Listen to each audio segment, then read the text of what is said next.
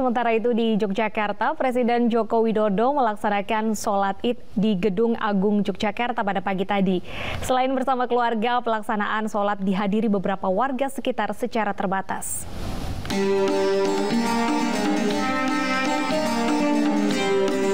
Presiden Joko Widodo pagi tadi melaksanakan salat id di Gedung Agung Istana Kepresidenan Yogyakarta. Salat id dihadiri beberapa warga secara terbatas dengan penjagaan ketat keamanan presiden. Beberapa warga mengaku senang dapat melaksanakan salat id di halaman Gedung Agung Yogyakarta pada Idul Fitri tahun ini.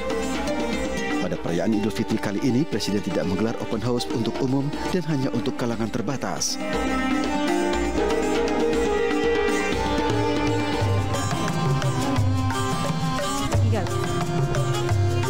Usai melaksanakan salat id bersama keluarga di Gedung Agung Yogyakarta, Presiden Jokowi bersama keluarga langsung berkunjung ke Keraton Yogyakarta menemui Sri Sultan Hamengkubuwono.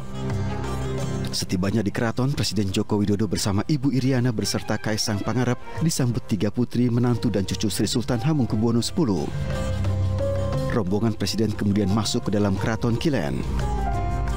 Idul Fitri saat ini berada di Jogja, tentu saja pertama kali yang kami kunjungi untuk silaturahmi dan mengaturkan uh, selamat hari raya, mohon maaf lahir dan batin kepada Bapak Sultan Ngaso Dalem beserta Ibu Ratu dan keluarga. Setelah silaturahmi berlangsung selama satu jam bersama, Presiden kembali melanjutkan agenda lain di Yogyakarta. Tim Liputan iNews melaporkan.